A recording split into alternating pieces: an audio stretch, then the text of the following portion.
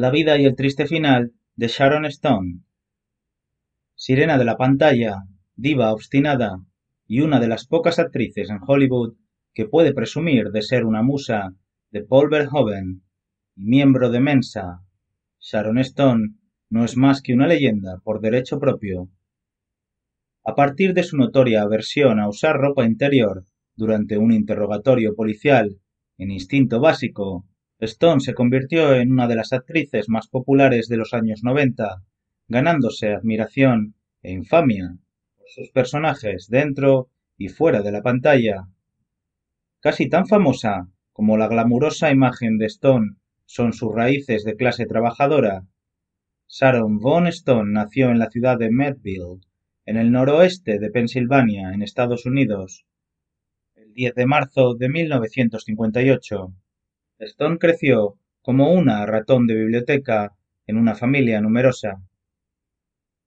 Considerada muy inteligente, además de ser una reina de los concursos de belleza local, ganó una beca para la Universidad de Edimburgo de Pensilvania cuando tenía 15 años. Stone se convirtió en una modelo de éxito a finales de los años 70, apareciendo en anuncios impresos y televisivos de Clairol, Revlon o Diet Coke. En 1980, Stone diversificó con la actuación, haciendo su debut en la pantalla como la chica guapa del tren en Stardust Memories de Woody Allen. Finalmente consiguió un descanso en 1990, cuando apareció como la esposa del agente secreto de kickboxing de Arnold Schwarzenegger en Desafío Total de Verhoeven. Sin embargo, Cualquier reconocimiento que obtuvo por ese papel fue más que eclipsado por la notoriedad que ganó por su papel protagonista en su segundo largometraje de Verhoeven, Instinto Básico. La película de 1992 le hizo un gran favor al convertirla en una estrella, pero también le hizo un flaco favor al encasillarla aún más en papeles de seductora rubia.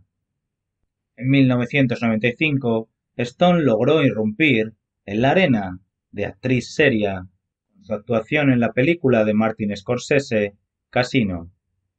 Elegida como una ex prostituta, ganó una nominación al Oscar y un Globo de Oro por su trabajo, así como la opinión generalizada de que era capaz de actuar dramáticamente.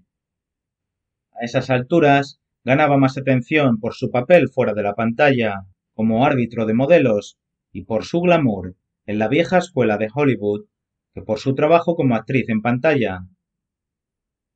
Stone prestó su voz a la animada Ann Z en 1998. La película resultó ser un éxito. No se puede decir lo mismo de la siguiente película, una nueva versión de Gloria de 1999. No solo el público no fue a ver la película, los críticos la atacaron con júbilo vituperador. Stone, que nunca dejó que una mala crítica la desanimara, pronto se recuperó, recibiendo una recepción más positiva por su actuación en The Muse y luego interpretando a la sufrida esposa de Jeff Bridges en Simpático. Si sus roles en los años que siguieron no fueron tan destacados, ciertamente eso no quiere decir que fuera menos desafiante.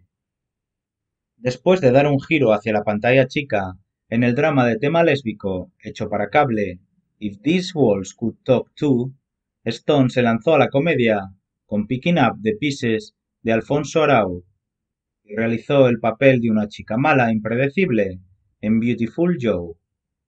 Todas ellas en el año 2000.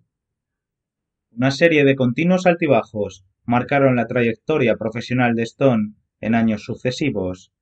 En 2004, la actriz apareció como Laurel Hedar junto a Halle Berry en Catwoman.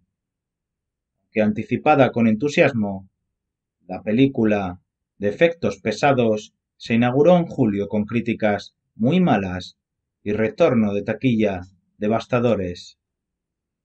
A pesar de la confesión de Stone de que estaba bajando el tono de sus habituales formas de diva después de sufrir una neurisma cerebral en el año 2001, comenzaron a circular rumores de comportamientos escandalosos en los sets de rodaje.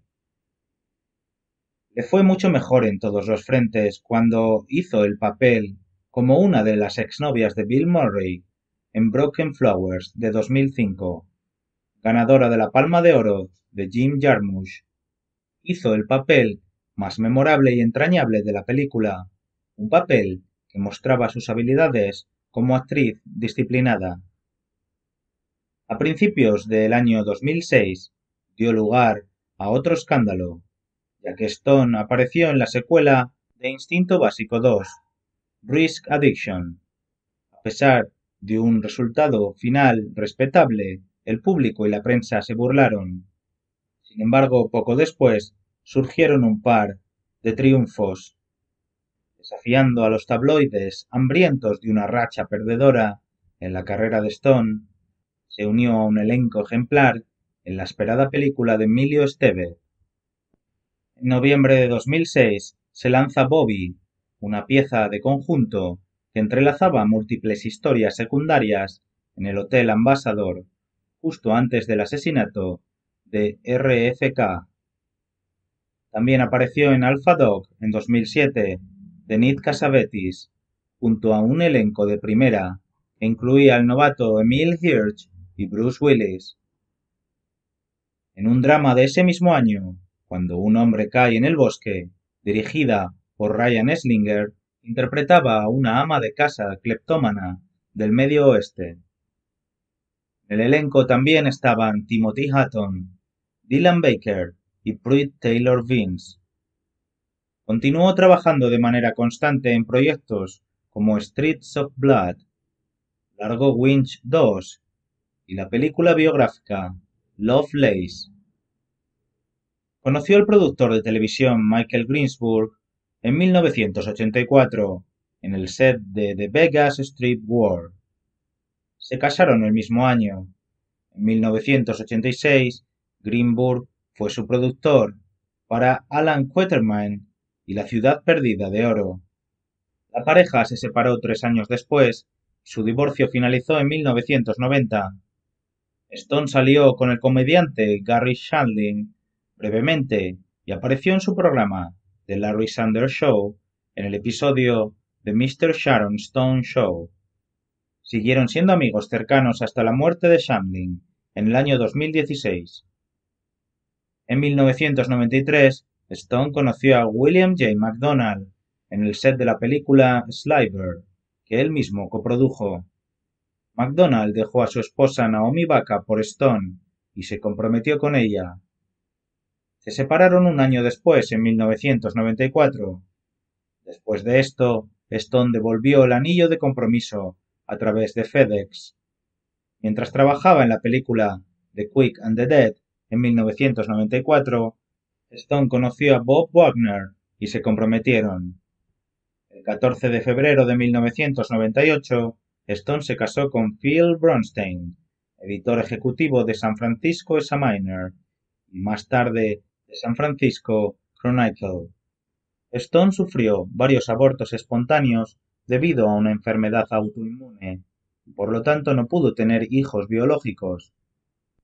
Adoptó un hijo junto a Joseph Bronstein en el año 2000. Bronstein solicitó el divorcio en 2003, citando diferencias irreconciliables. Gracias por escuchar la historia de la vida de Sharon Stone. Estas circunstancias personales son lo más triste en la vida de esta actriz de 64 años. Nos vemos en los próximos vídeos.